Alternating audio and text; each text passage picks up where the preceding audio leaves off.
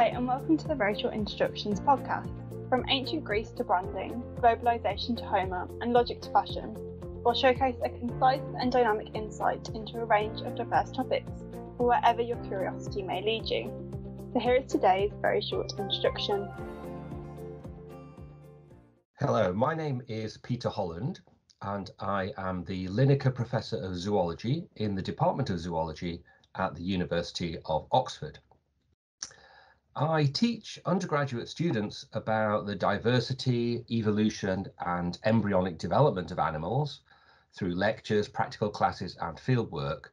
And I also run a research group where we try to work out how evolution at the DNA level relates to evolution of the whole animal. Before my current post, I was Professor of Zoology at the University of Reading, and it was teaching students in Reading and in Oxford and discussing this subject so much with students that gave me the enthusiasm to write this very short introduction. The title of the book is The Animal Kingdom, a very short introduction, and the central topic of the book is the evolutionary tree of animals. So, what do we mean by an evolutionary tree? Well, think of it as a sort of who do you think you are of the animal kingdom? So, who's related to whom? When most people think of animals, they might initially think of things like dogs and cats or birds and fish, but all those belong to one very small part of the animal kingdom, the vertebrates. That's the group of animals with backbones, and obviously they're quite familiar to us and we see them all around us. But animals are much more diverse than that. So those vertebrates that I've just mentioned, like the dogs and cats, birds and fish, they only account for about 2% of species of animal on the planet, whereas the invertebrates, that's the animals without backbones, account for the other 98%. Or I should say at least 98%, but it's probably a much higher percentage than that because there are so many invertebrates that we haven't yet described to science. And those invertebrates are incredibly diverse, from jellyfish to centipedes, tapeworms to scorpions, sea cucumbers to giant squid. So in this very short introduction, what I tried to do is to survey that incredible diversity of animals, how it all arose in evolution, and then give a rapid tour of the biology of all the different major groups of animals. Thinking about what first got me interested in this subject is an interesting question. I think like many people, I or many biologists, I always was interested in this. And in fact, I, I'd like to mention a very famous interview that took place between former US President Barack Obama and Sir David Attenborough a few years ago, in which Obama asked Attenborough, How did you get interested in biology and natural history? And David Attenborough replied to that question in a beautiful way. What he actually said was, Every child is interested in the natural world. So the question should be, why do some people ever lose that interest? Now, I don't know the answer to that question, but I think I'm just one of those people that never lost that interest. So I started off interested in biology, and I always have been. I've been interested in animals as long as I can remember. As a child, my bedroom was just like a zoo of fish and newts and cages of assorted caterpillars and silk moths and tanks of water beetles. And well, I'm still a little bit like that. I, I still get a thrill from watching badgers or seeing frogs spawn develop or catching moths at night.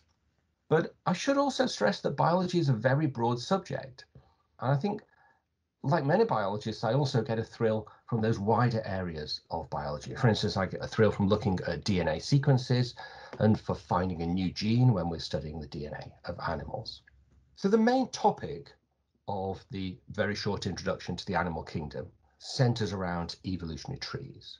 Now, that notion of a tree is a fantastic metaphor. And it's a metaphor which Charles Darwin used and Alfred Russel Wallace used and many others have used as well. And I think when we're thinking about evolutionary trees, it's good to envisage a picture of a real tree, like an oak tree, in your mind. And the way this metaphor of an evolutionary tree works is that all the different species of animal, or indeed other living things, would be placed at the ends of those twigs. When we want to understand an evolutionary tree and we want to understand evolution, we want to see where all those twigs fit. Now, actually, that's a very complicated subject.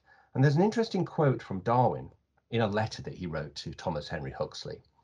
And Darwin wrote, The time will come, though I shall not live to see it, when we shall have very fairly true genealogical trees or evolutionary trees of each great kingdom of nature. And I think that's a really interesting quote because Darwin is pointing out that this working out the who is related to whom should be possible, but it's a very, very difficult topic. And the answer took a very long time coming, and it certainly didn't happen in Darwin's time. But I think what I want to stress is that we now really do know the very fairly true tree of the animal kingdom. We pretty much know the shape of that tree. Now, I'm not going to say that we know where every twig fits, in other words, where every species fits, but we know the main branches. And I think that's a, a core change in our understanding of biology, that we know the shape of that tree. It's no longer a mystery. Evolutionary trees are no longer a mystery. The reason for that is really DNA sequencing. We can use DNA sequences and the way that mutations happen in DNA to compare sequences between different species and work out who is more closely related or further away in those trees. And what's quite remarkable is that those new trees which have been built from DNA sequences have radically changed our understanding. It really is time to throw away the old zoology textbooks from 50 years ago, or even from 20, 30 years ago, and look again at who's related to whom. So why does it matter? Why do we want to know the evolutionary tree of, let's say, the animal kingdom? And I think the answer to this really is that an evolutionary tree allows us to make sense of the world around us. We just can't do that without a tree. Imagine if we want to think about why the body of an insect is divided into many segments or why the body of a worm is divided into many segments. We first need to ask the question whether insects are closely related to worms. Therefore, whether it's one question we have to answer or it's two questions we have to answer. It matters where they fit on the tree. And we could say the same for a biochemical property, a physiological process, a protein sequence. If we see these things in different species, we want to work out whether those features evolved once or twice or many times because that enables us to delve deep into the biology. So knowing the evolutionary tree makes it an exciting time to be a biologist because we can ask and answer key questions in biology. In addition, what I try to do in the very short introduction to the animal kingdom is take a whirlwind tour of all the major branches on that tree. So imagine the tree is a real tree. And what we're going to do in the book is go climbing along every major branch of that tree look at the biology of those different animals. So I'll try and give a, a quick flavour of that. So in the basal branches, which is a little bit of an unfair term actually, the branches that came off early in the tree would lead to animals such as sponges, jellyfish, and the beautiful comb jellies. These are all animals which don't have a clear head end, in other words, a front end and a back end, a left and a right. They have usually have more sort of radial or round type bodies without a clear front and back. But then the rest of the animal kingdom are what we call the bilateria. These are animals with a clear front end, back end. Um, they include animals which can explore the world in three dimensions. And I think that transition, if you like, the evolutionary step to having this bilateral body plan with a front end, back, left, right, top, bottom, was one of the most important steps in the history of our planet. Because once animals could explore the world in three dimensions, they could interact with each other in a very active way and interact with the environment and the substrate and change the whole ecology of the planet.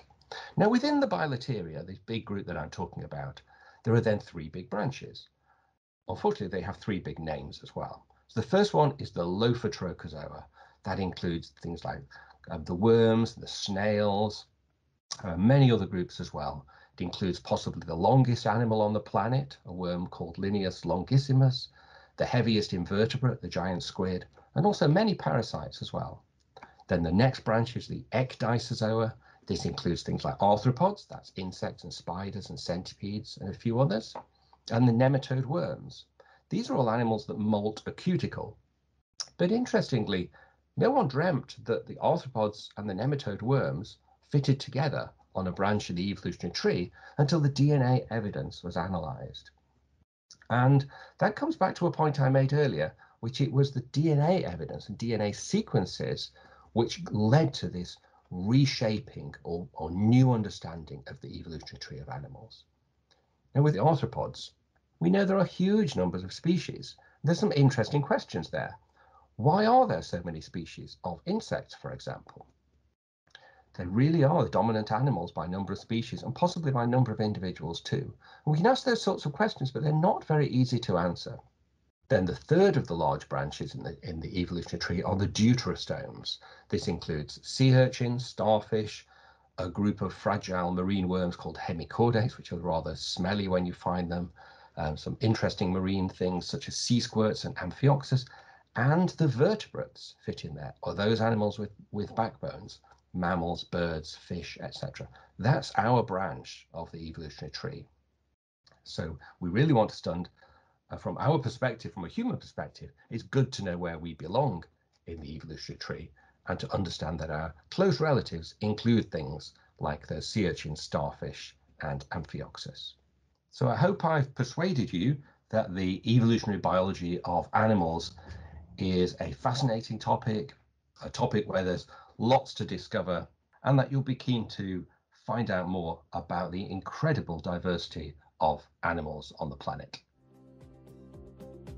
Thank you for listening to the Very Short Introductions podcast. You can subscribe to our podcast on Apple Podcasts, Google Podcasts, Spotify, and Stitcher to receive new episodes directly to your podcast feed. All of our episodes, new and old, can also be found on SoundCloud and YouTube at OUP Academic.